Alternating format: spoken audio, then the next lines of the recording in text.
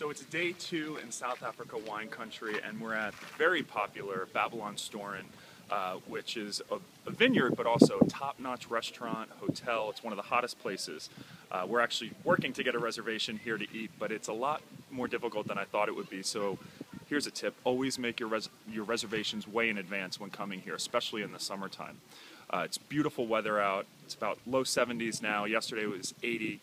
And you know, I've been to Napa and Sonoma. I love them both for their own reasons, but South Africa wine country is on a whole different level. A lot of these vineyards have been open for over 300 years, and there are varietals that you're not going to get back in the U.S.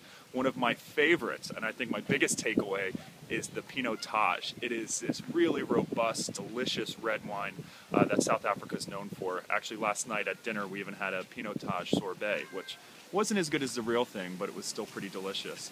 Uh, you know, South Africa wine country is much more than just wine. Uh, even if you don't like wine at all, it's just so peaceful. This place, for example, has a whole cheese shop, artisanal breads, there's antique shopping. Yesterday we did the cheetah outreach, which was incredible. We actually got to pet cheetah cubs, there's ostrich farms, olive presses, there's stuff for the whole family, and it's all very casual and cheap.